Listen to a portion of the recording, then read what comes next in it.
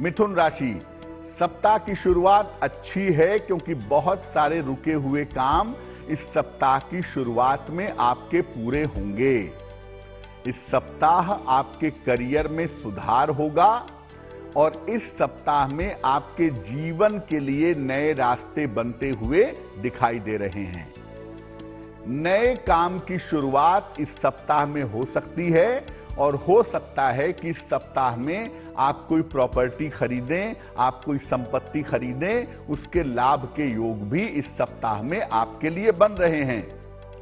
ध्यान रखिए, बेवजह की पंगेबाजी मत करिए, बेवजह के झगड़े झंझट दूसरों से मत करिए, वरना आप मुश्किल में पड़ेंगे।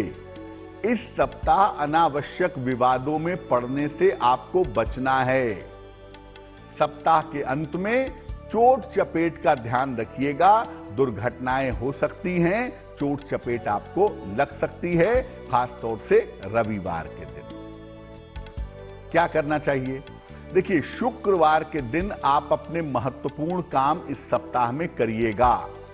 आपके जो भी इंपॉर्टेंट काम है इंपॉर्टेंट मीटिंग्स हैं इंपॉर्टेंट डिसीज़न आपको लेने हैं, वो आप शुक्रवार के दिन करिएगा तो आपके लिए बहुत ज़्यादा उत्तम होगा, बहुत ज़्यादा शुभ रहेगा।